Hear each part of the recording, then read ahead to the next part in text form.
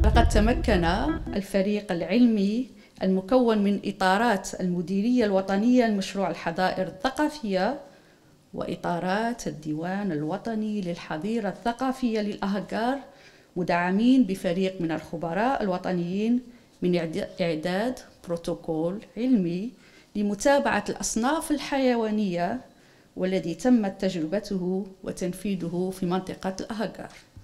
ومن بين النتائج المتميزة هو رصد وتصوير فهد الصحراوي في منطقة الأتاكور في قلب الحظيرة الثقافية للأهجار التي لم يشاهد فيها هذا الحيوان منذ قرابة 15 سنة.